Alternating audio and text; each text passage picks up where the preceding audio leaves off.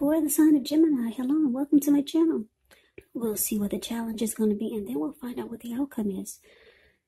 So, Gemini, the recent past energy between you and the person in this connection. We got this beautiful Four of Wands and it's with the Knight of Wands. Now, the Four of Wands, it does indicate that you might be attending a special event. It's going to be way more fun than you're anticipating. So make sure to go. You'll have a great time. If you have a business, it's likely to be going really well. You'll be proud of yourself and others will be proud of you also. This is a very, very positive card in the reading. It shows a need to keep your wits about yourself. And although you deserve and should treat yourself to some fun. Just know that you're still in a building up phase, and now is really not the time to rest completely on your laurels. Four of Wands can also indicate that you might be thinking of moving or you're moving your place of residence. So, Four of Wands is with this Knight of Wands. The Knight of Wands, it's showing a great time for travel. If you can manage to get away, you should be feeling really charged up, full of energy ready to get things done. The Knight of Wands self confidence is increasing, and this helps reach towards any goals. This card is about message messages. It's a message bearer. And the messages are likely to be positive. So, recent past energy, Four of Wands, clarified by the Knight of Wands. Well, Gemini, it looks like you you could have been interested in um, marriage, long term commitment with your person. But it looks like this person that you're dealing with, they kind of only had one foot in and one foot out. Maybe they just weren't ready when the conversation came up or when you approached them about being more serious. Yeah, because this Four of Wands is about, this Four of Wands is the marriage and commitment card. And the Knight of Wands, it's a, it's actually an in and out type of energy. Knight of Wands can be a Aries, Leo, Sagittarius, really brave and confident type. It's known as a player. So that's why I'm, I'm saying the person who you have this recent past energy with, they kind of just had one foot in and one foot out, but you were ready. You're ready for something serious.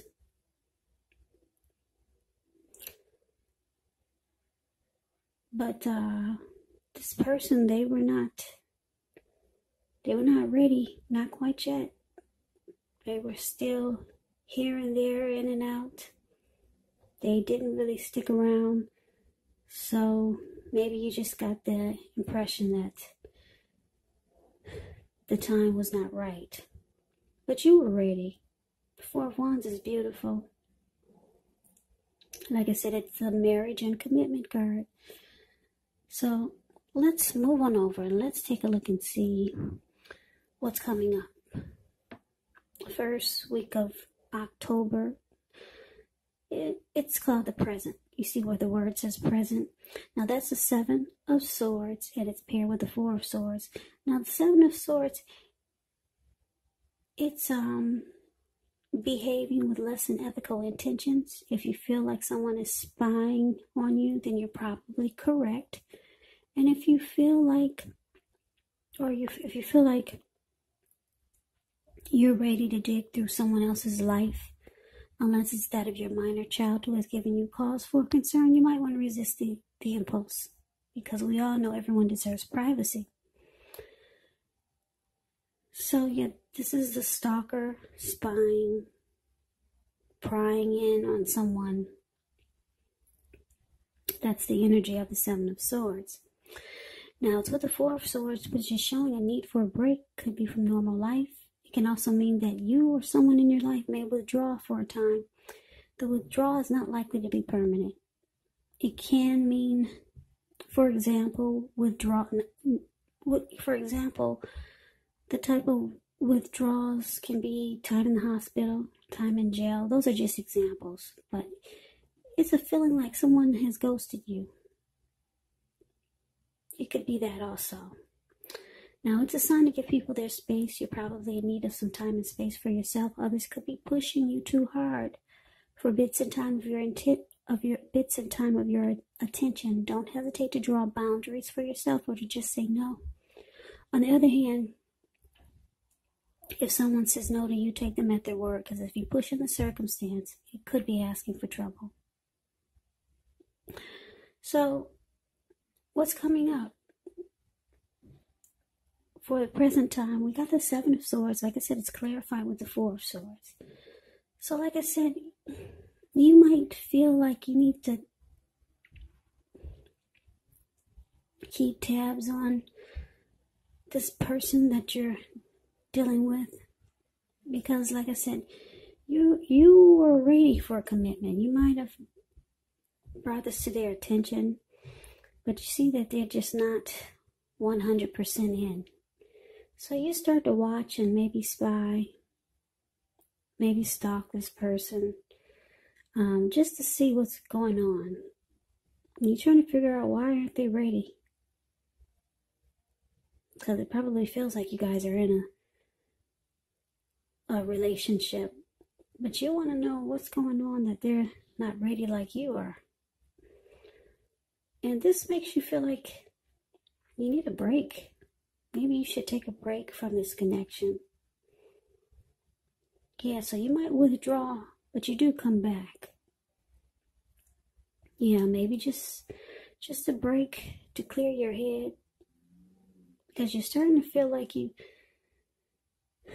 you you're doing something that you don't that's out of your character. You don't stalk people. You don't keep tabs on them. But this person you must really like must really like this person and you're just trying to get some clarity on why they're not ready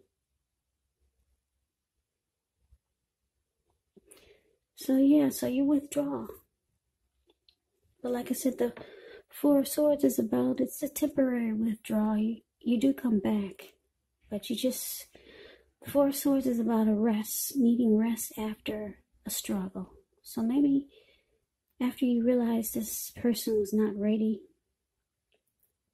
at the same time that you were, you realize that, um, yeah, must have must have weighed on you or played with your emotions or it might start to feel that way.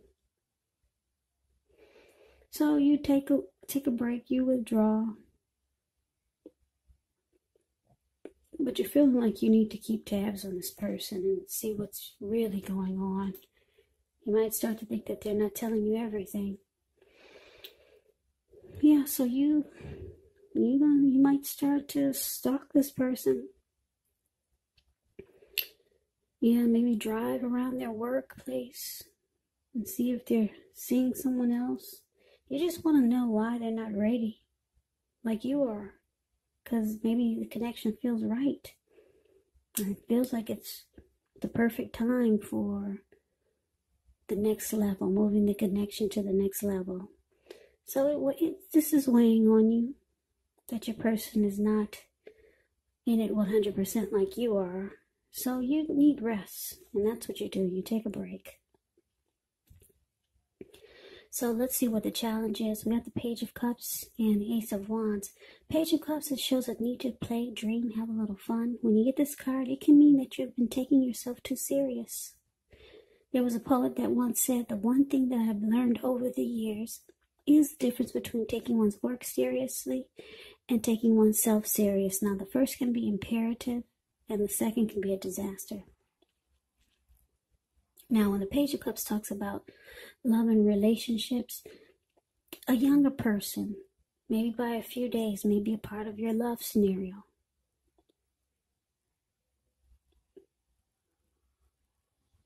Yeah, the, this person might want to try to sweep you off your feet when you get the Page of Cups. But this person might be younger than you. They might be a student. You might they might come across as immature. Yeah, that's what the page stands for in the tarot. Student, a student, youth, immaturity, someone younger than you. Now, it's with this Ace of Wands, which is indicating a new beginning, very positive one. Could be in the realm of accomplishments, could be related to work, career, or personally. And if you're having a difficult time, now just know that things are about to get better really soon. This card is about being upbeat, optimistic, hopeful about the future, with a really good cause. So you're likely to start to feel really energetic and positive. Or you'll be feeling that way soon. Great time to start something new. So a challenge, Page of Cups, clarified by the Ace of Wands.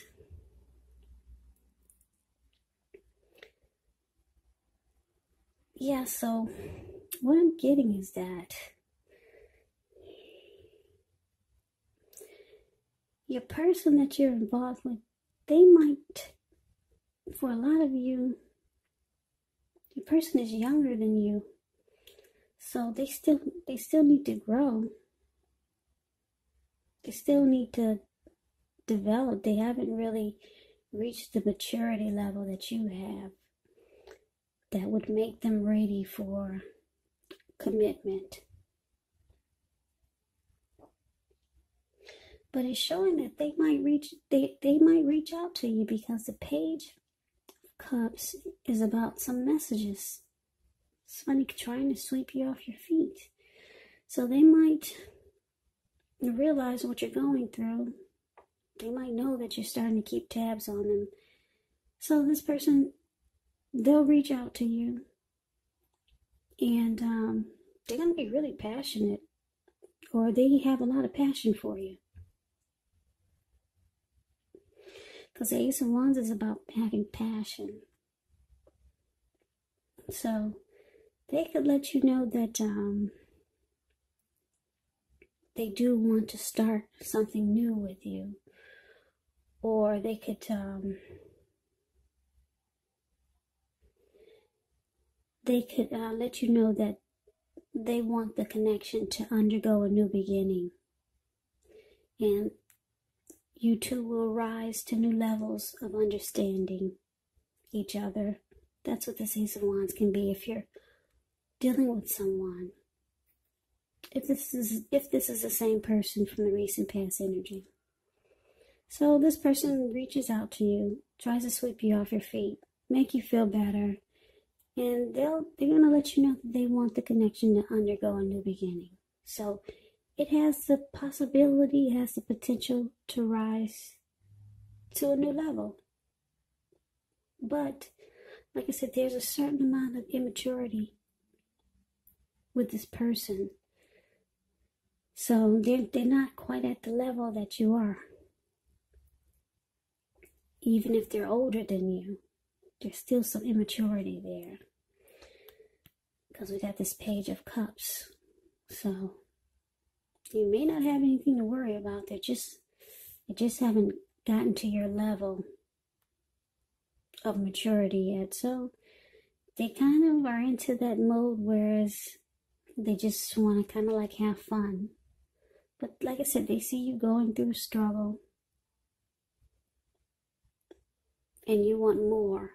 So they reach out to you, being really passion, passionate, and um, this person they they'll be letting you know that um, they do want a new beginning with you. So, like I said, it could rise to new levels or to the next level. Commitment in marriage, I I don't know about that. That's what you wanted. Um, from the recent past energy with this person, but they're going to let you know that they do like you. They got a lot of passion for you, and that the connection could definitely go to the next level. So that's a challenge. Now let's see what the outcome is. So we got the Wheel of Fortune. And we got the Eight of Wands. Now the Wheel of Fortune, it's a card that reminds us that this too shall pass. Whether it's good times, whether it's bad times, it passes. So if all of a sudden you find yourself sitting on top of the world, keep your perspective like that too. Everything else, well, what am I saying? if you do find yourself sitting on top of the world, and I'm saying this because the Wheel of Fortune is about having fortune in your favor. So if you find yourself sitting on top of the world, keep your perspective as that too, like everything else, changes because the wheel constantly turns.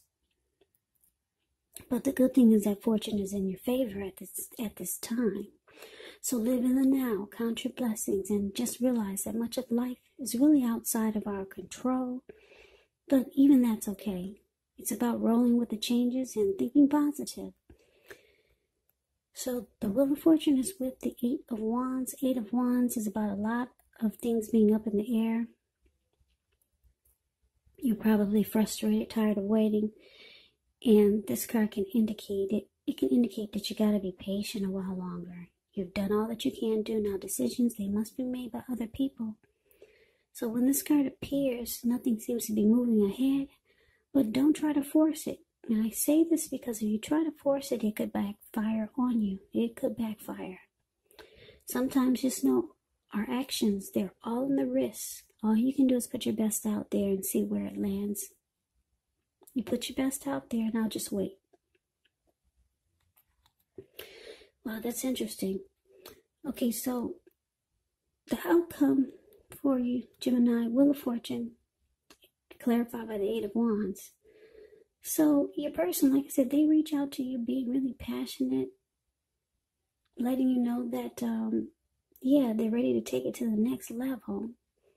So you start to feel like fortune is in your favor. Yeah, so you start to feel really good about this connection again. But it's with this Eight of Wands. So, I don't know if you're going to start to think that this, this, this is all talk that your person is giving you because um, when the Eight of Wands talks about love and relationships, you're probably feeling ready for a commitment that doesn't seem to be forthcoming. So still, it's just not moving fast enough for you. But it's it's coming. What you want to happen between you and your person, it's coming. Like I said, don't force it because it could backfire on you. It's it's saying to let it take its natural course of action. Your person is gonna let you know that they're ready to take it to the next level, but it looks like they need a little more time for the marriage, for the ring. Okay, they they still have they're not as mature as you are in this connection. But they're letting you know that they really like you. They got a lot of passion for you. But you're ready now with the Eight of Wands. Things are up in the air. You're feeling good though. Fortune is, you know that fortune is in your favor. Your person is finally kind of saying things that you want to hear. So that's the reading that I have for you, Gemini. I hope this resonates. As you know, general readings they do not all they do not always resonate with everyone. Then again, if you like the reading, please comment, subscribe, hit the notification bell.